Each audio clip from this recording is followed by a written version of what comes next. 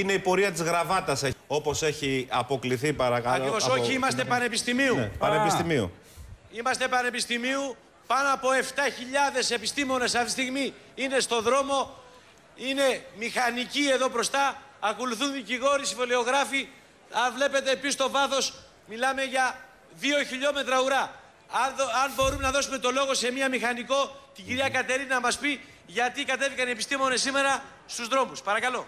Είστε μηχανικός. Είμαι αρχιτέκτονας μηχανικός, ναι, καλημέρα.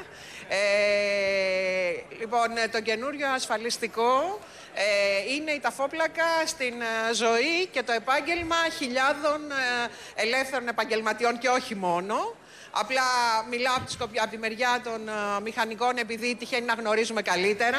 Ε, μας ζητάνε εισφορές ε, με λογική φορολογίας. Πώς θα πάει το 34% περίπου; Ε, κοιτάξτε, έχουμε υπολογίσει ότι το σύνολο φόρων και ασφαλιστικών εισφορών είναι το 108% του εισοδήματός μας. Αυτό σημαίνει ότι ε, έχουμε τελειώσει. Για τους νέους συναδέλφους σημαίνει ότι δεν μπορούν να μπουν στο επάγγελμα. Ήδη έχουμε μια διαρροή κάθε χρόνο ε, χιλιάδων συναδέλφων που διαγράφονται από το ασφαλιστικό ταμείο γιατί δεν μπορούν να πληρώνουν.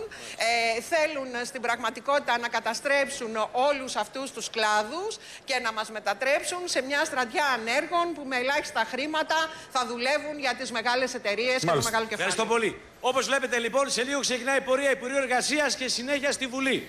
Να είσαι καλά, Γιώργο, σε ευχαριστούμε πάρα πολύ και θα παρακολουθήσουμε και την εξέλιξη αυτής της πορείας, της πορείας της ε, γραβάτας.